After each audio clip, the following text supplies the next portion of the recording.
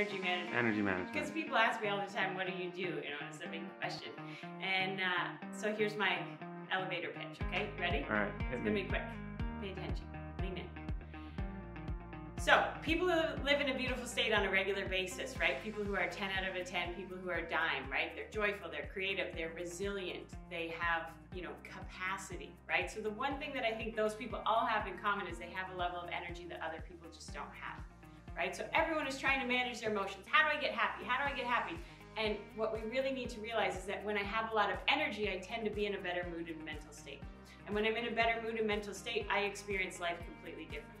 So I can't manage my emotions. They're elusive, they're changing all the time. We know that, right?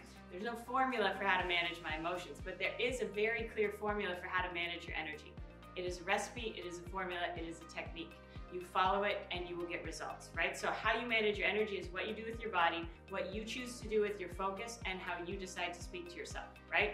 So, regardless of the outside circumstances that we realize now more than ever that we do not control, we will always control what we do with our body, what we choose to focus on, and the dialogue we use with ourselves. So, that in a nutshell is energy management. How do I get the self agency and the tools and the awareness to manage that for myself on a regular basis so I'm not always thrown by those outside circumstances? I have this inner fortitude. I have this inner um, skill that I can always depend on regardless of what's happening around me because we need it right now.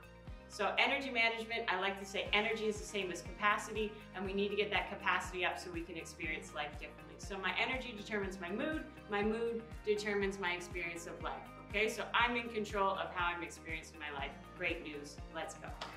Let's go. That That's it. Clear? Oh, is that it? Yeah. So Yeah?